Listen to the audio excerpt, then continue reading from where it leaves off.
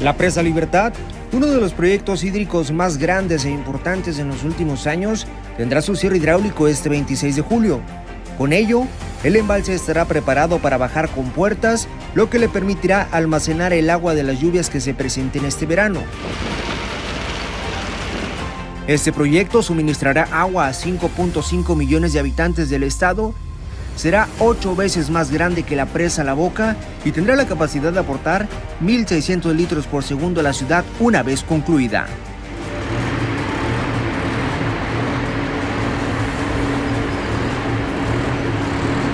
Su cortina será la más larga de Latinoamérica con una longitud de 1.915 metros y medirá 52 metros de alto.